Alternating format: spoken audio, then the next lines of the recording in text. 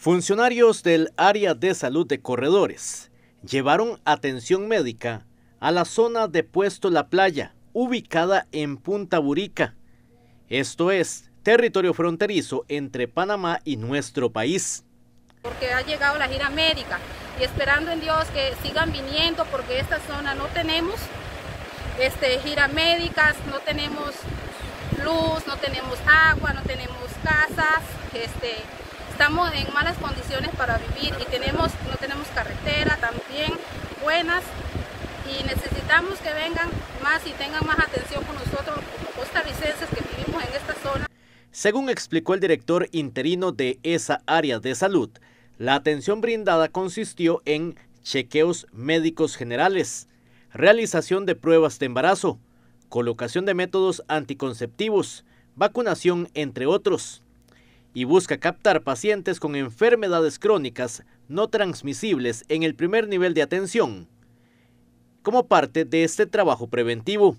Visitamos dos comunidades que se llaman Puesto La Playa en una escuela que se llama Puesto La Playa. Atendimos el primer día, el día 18, y en el segundo día atendimos en la comunidad de Puesto La Playa. Atendiendo desde las 7 de la mañana hasta que se acaben los pacientitos que lleguen. Están en zona fronteriza. La mayoría de los pobladores tienen doble nacionalidad, costarricenses y panameños. Se realizó una reunión interinstitucional comenzando con un representante del presidente de la República, un representante de la Cancillería de la República, la Caja Costarricense del Seguro Social, el Ministerio de Salud, el PANI, el IMAS, el INDER, el INAMU, Policía de Migración costarricense, por parte de Panamá estaba el Senafrón, estaban funcionarios del Ministerio de Agricultura, de Panamá por el tema del gusano barrenador. Se realizó toda una visita interinstitucional. Eso es lo que venimos, escuchar a la población para ver las necesidades que ellos tienen y con base a esas necesidades montar un plan remedial y un plan de acción de por parte de la interinstitucionalidad de Costa Rica y ver de qué manera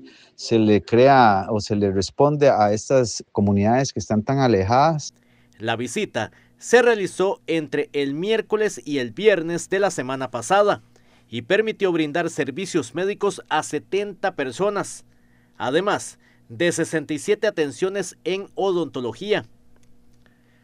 Estas personas son ciudadanos costarricenses que se encuentran en el extremo más cercano con Panamá y no tienen una atención médica tan pronta.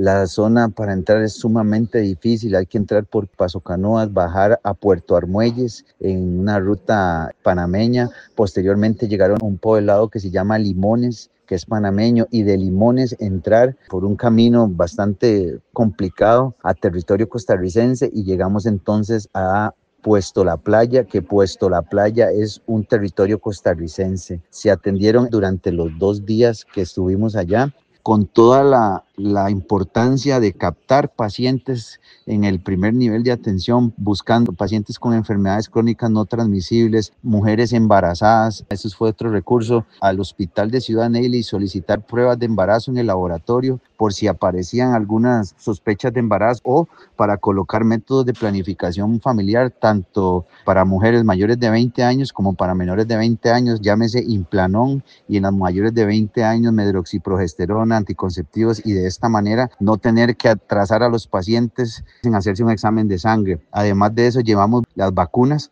colocamos algunos esquemas de vacunas, completamos otros esquemas de vacunas y la gran importancia de todo esto es que son pobladores costarricenses, son ciudadanos costarricenses que se encuentran en el extremo más cercano a Panamá y no tienen una atención médica. De acuerdo con lo indicado por el funcionario, se conformó un comité de salud con vecinos de esas comunidades para continuar con las coordinaciones junto con el área de salud y así garantizar la continuidad de la prestación de servicios médicos. De igual manera, parte de este acercamiento interinstitucional dio como resultado la creación de un plan que se denomina Acción Remedial para buscar una pronta respuesta a las necesidades de estas personas en Punta Búrica.